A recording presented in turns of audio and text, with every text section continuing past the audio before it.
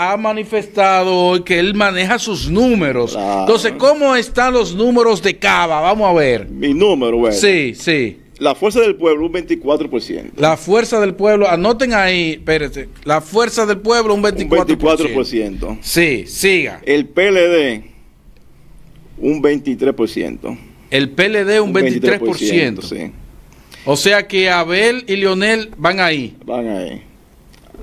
Eso es contándose, se- según se, se dice, todavía no se confirma de que va a haber una, una, una unión, supuestamente. Ajá. Se dice, no es confirmado. O sea que si hay una unión, ellos tienen un 47 entonces. Un 47 puede ser. Sí. Sí.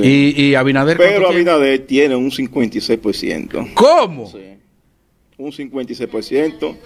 ¿Y de, y, de, ¿Y de dónde tú sacaste esos números? Bueno, yo he visto en la calle, eh, en, en las avenidas también, según uno va transitando. Ahí están los números que acaba de ofrecer el señor Cava en la firma encuestadora Cava. Sí, eh, 23 Abel, 24 Leonel y 56 56 Luis Abinader. Luis Abinader. O sea que no hay escenario, No, para segunda vuelta no hay.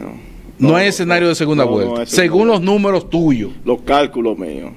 Los cálculos míos. los cálculos Sí, tuyos. Claro. ¿Cómo, cómo- cómo así? Sí, yo calculo que te digo que yo estuve, he estado en pueblo, he estado en, en barrio y eso es cuatro años más.